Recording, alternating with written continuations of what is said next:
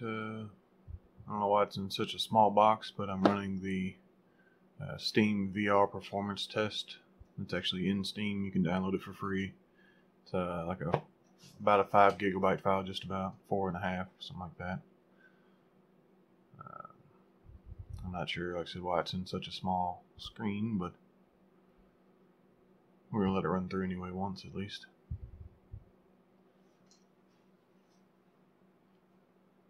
This is uh, supposedly putting your system through the test to see if it's you know, virtual reality ready.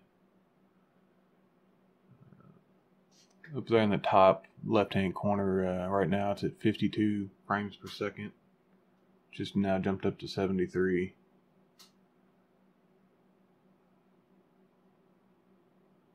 Alright. We're at about 52 there. 50, yeah, 52 frames.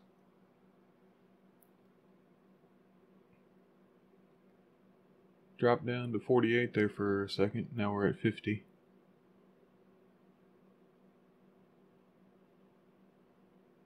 It should pop my specs up afterwards, but I'll, uh, if it doesn't, I'll link them in the description.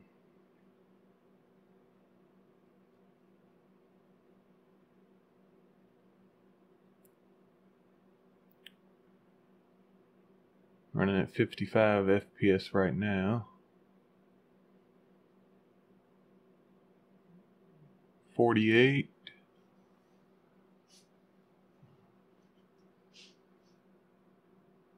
Fifty-six. Uh, this is running in my uh, Acer that I unboxed uh, last week.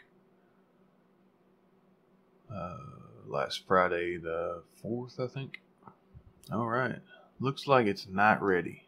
Alright, let's see what we got here. It's the uh, Windows 7 Service Pack 1, which is green. CPU is the AMD FX 8158 core, which is green. Um, but it has a red on the GPU. It says the HD 6900 series is not ready.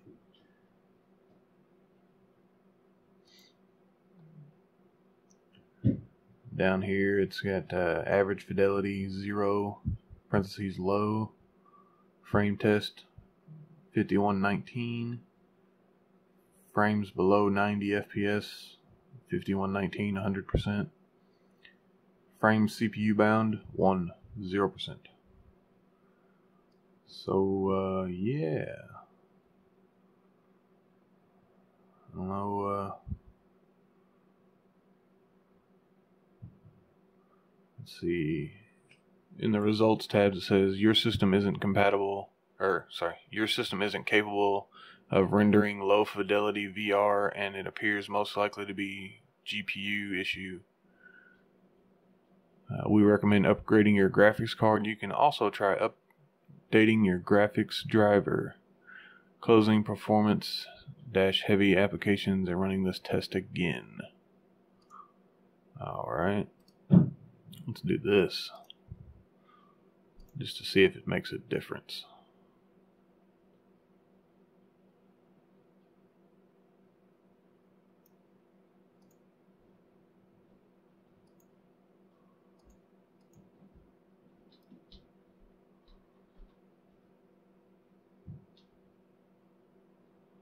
Uh, there we go.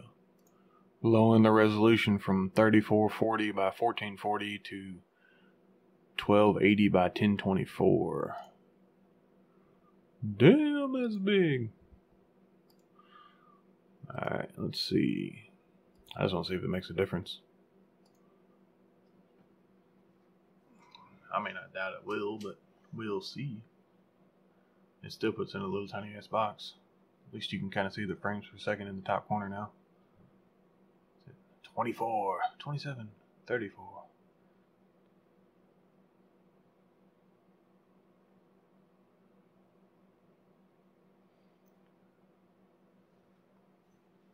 Alright, it's at 78 right now. 80.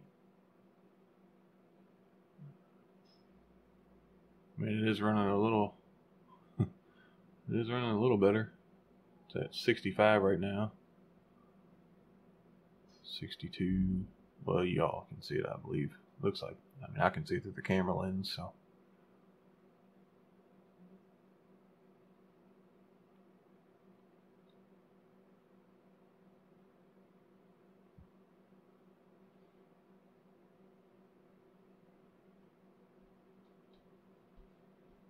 I'm pretty sure it's going to fail again because, uh, like I said, the highest it reached was 80 frames, where they're saying you need at least 90.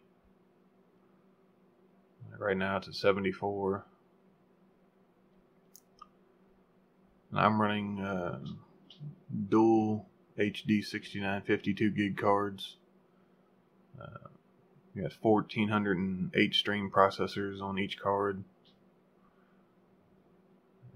810 megahertz GPU core on each one of them. And I think 1250 megahertz on the memory.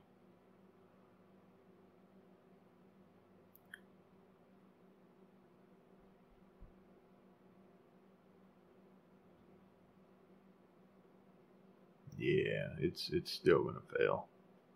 Which I mean that's fine. I don't plan on doing VR anyway. As of right now, at least.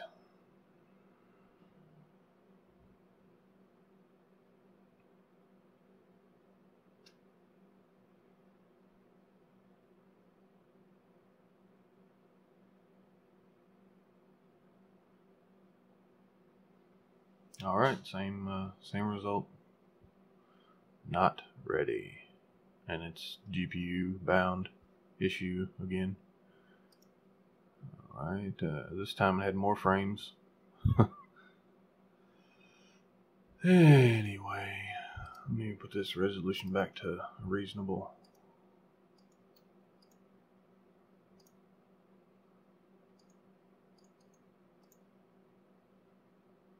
Alright, uh, let me uh, go into the store here.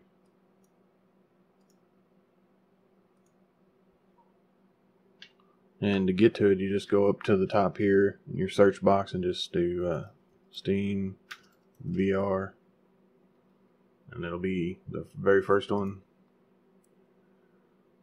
It's a Steam VR performance test. Like I said, it's free. Uh, let's see, it recommends Windows 7 Service Pack 1, Windows 8.1, or Windows 10 a i5 4590 or an AMD FX 8350 equivalent or greater, 4 gigabytes of memory, which I've got 32, so that's not an issue there.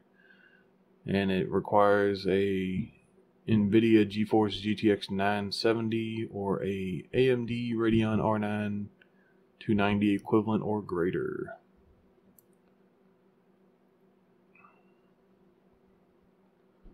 So yeah. Um, okay, let's see. Yeah. 216.2 hours on record, really, guy? Come on. Truly one of the most important influential games of all time. Alright, guys, uh, feel free to post your scores if you like. They're probably going to be better than mine. Alas, this computer was built in 2012. So, yay. Alright, guys. Have a good one. HD.